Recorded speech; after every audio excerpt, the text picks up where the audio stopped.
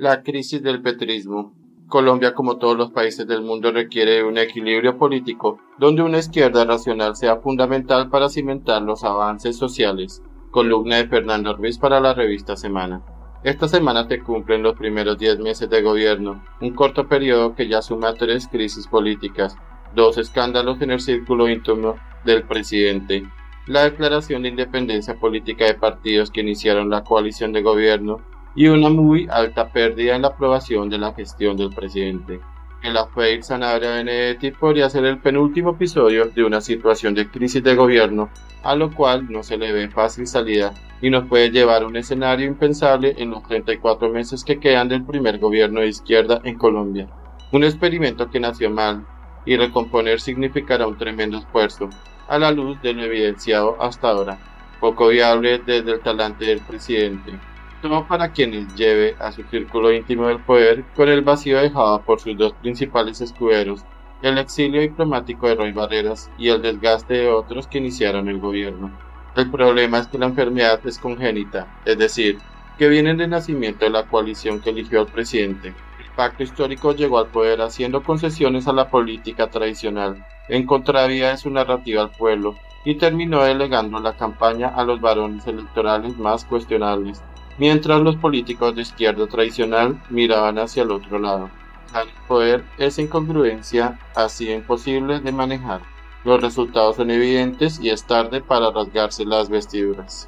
Tampoco lograron mejor resultado quienes se unieron al proyecto bajo la doctrina de lograr una implosión controlada frente a los excesos que conocían o intuían en la agenda reformista del petrismo.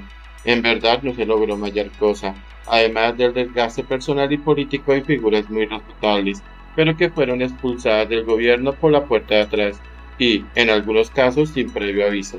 Que hoy esté aprobada en primer debate una absurda reforma a la salud, sin el concepto del Ministerio de Hacienda sobre su viabilidad e impacto fiscal, es una prueba de la utilidad y costo social de esa estrategia.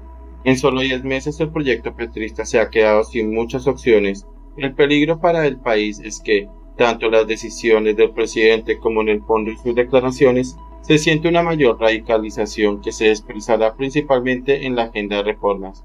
La inminencia de las elecciones regionales, donde el escenario político no es el mejor, está impulsando a los miembros más radicales del pacto histórico a buscar desesperadamente acreditar alguna víctima política para presentar a sus votantes. Desafortunadamente la única al alcance es la agenda de reformas, de manera que se buscará aprobar lo que sea sin importar las consecuencias. La responsabilidad tiene ahora el Congreso con la preocupante dualidad a la que están jugando los partidos de la coalición. Se declaran independientes desde el partido, de dientes para afuera, pero por debajo de la mesa muchos congresistas obran pensando en sus propios intereses por encima de los intereses de la nación ejecutivo vamos quedando con el sector más radical y activista del pacto histórico. El país no político podría, como en otros tiempos, simplemente confiar en la institucionalidad del país y trabajar, haciendo caso omiso de los desvaríos del gobierno y sus ministros. Peligrosa estrategia porque Petro no es Lula. En el repertorio táctico del gobierno colombiano no prima la racionalidad, sino la emocionalidad. Prima la necesidad imperiosa de generar efectos. Por tanto, en tres años que restan, el daño a la sociedad y la economía puede ser muy grande.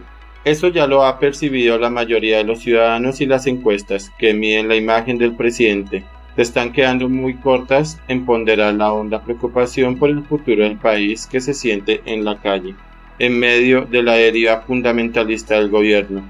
No solo son los 10 millones que no votaron por el presidente, son los jóvenes, los afrocolombianos que se están estrellando también con una vicepresidente que ha roto sus esperanzas, hasta los dirigentes sindicales y muchos políticos moderados y racionales de izquierda que conocen la cara oscura del proyecto petrista.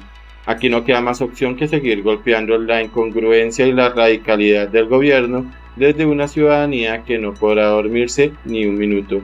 Es urgente que todos entendamos que, más allá de los escándalos, subyacen unos riesgos inmensos para el país.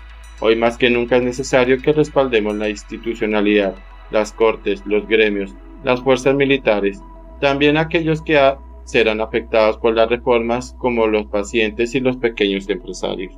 no es un problema ideológico. Quienes hacen oposición usando ese prisma están equivocados.